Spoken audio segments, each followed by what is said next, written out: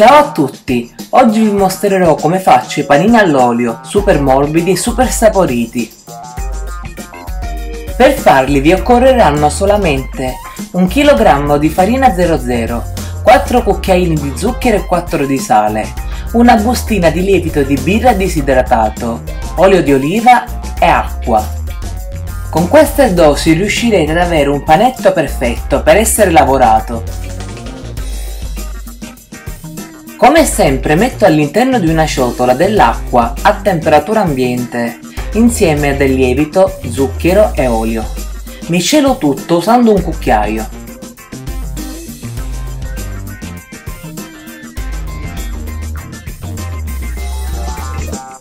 Aggiungo la farina e il sale impasto tutto con le mani.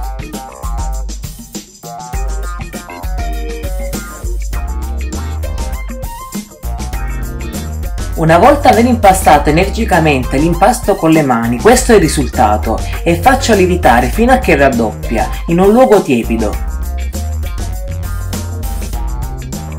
Questo è il risultato dell'impasto dopo aver lievitato qualche ora.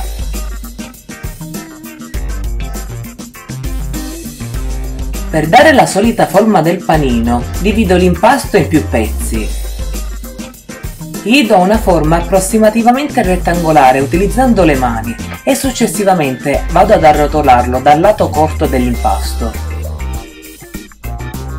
Dopo aver dato la forma ai panini li adagio all'interno di una teglia antiaderente o con carta da forno. Li faccio lievitare 30 minuti. A lievitazione completata li spennello con abbondante olio di oliva e li faccio cuocere in forno a 200 gradi per circa 25-30 minuti o fino a quando sono ben dorati. Da come potrete notare sono dei panini super morbidissimi.